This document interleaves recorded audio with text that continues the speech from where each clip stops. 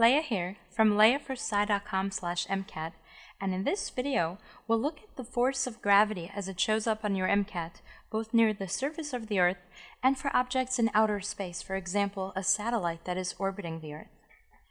You can find my entire video series on forces along with my practice quiz and cheat sheet by visiting my website leah4sci.com slash forces. When you think of gravitational force, think of it as the force of gravity that pulls you to the center of the earth.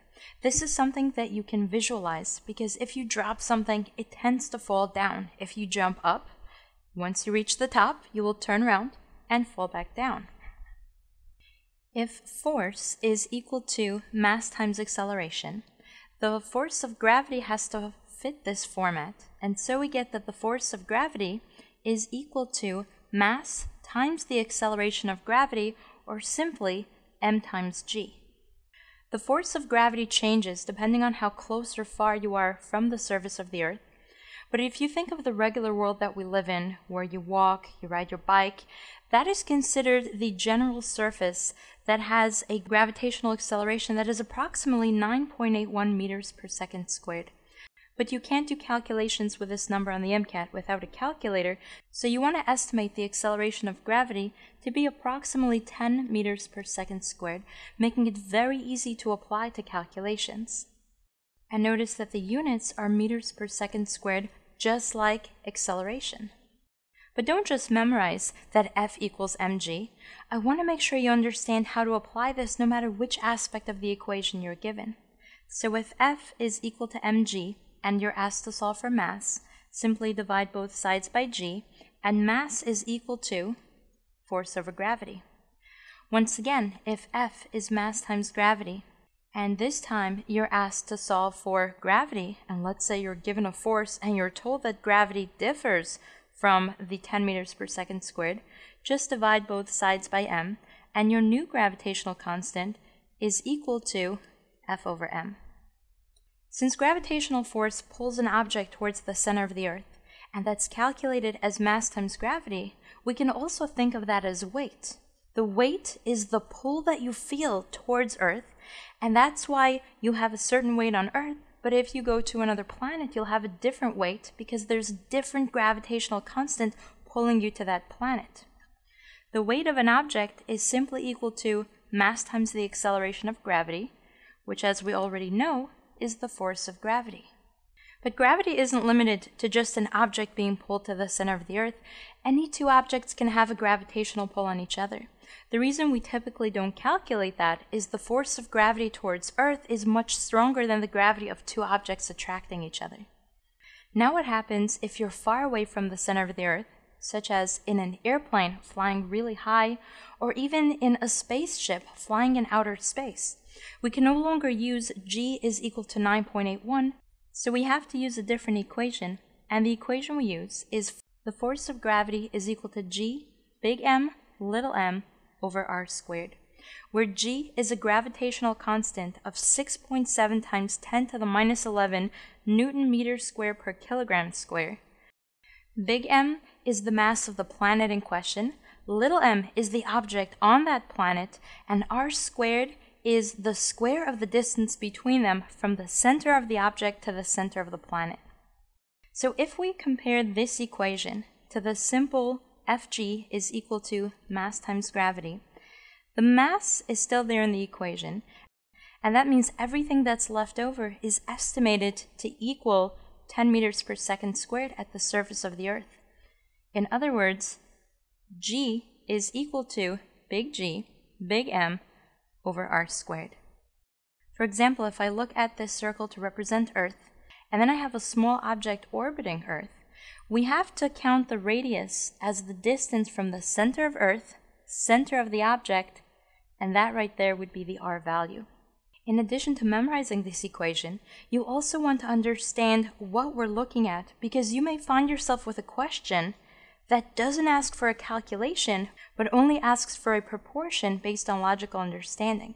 For example, if you see a question that says, find the gravitational force of a person standing on the surface of a planet that has half the mass and twice the radius of Earth, and you look at choices, but instead of numbers, you're given some value and then the letter F. What this tells you is we're looking at how the force of gravity will change when the person is standing on the planet rather than the planet Earth. And the way we set this up is simply by writing out the equation for the force of gravity on Earth and comparing it to the new force of gravity.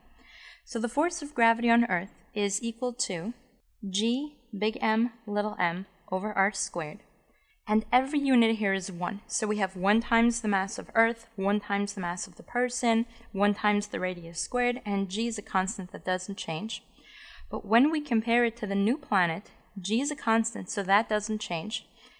If the mass of this planet is half the mass of Earth, we have 1 half big M, little m doesn't change, and then twice the radius, that means we have 2 times the radius, but don't forget that square gets distributed, so that's 2r squared, which when we break it open is 2 squared times r squared.